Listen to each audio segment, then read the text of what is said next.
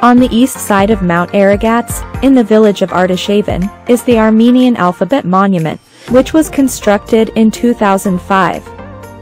It was built to mark the 1600th anniversary of the Mesrop Mashtots invention of the Armenian alphabet. The monument was created by architect J. Torosyan. It is made up of 39 massive pieces. Mesrop Mashtots, the linguist and ecclesiastical figure who created the alphabet, is buried nearby, so the letters are placed strategically close to his final resting place. The primary purpose of creation was to advance Christianity. As is well known, Mesrop Mashtots created the alphabet in 405.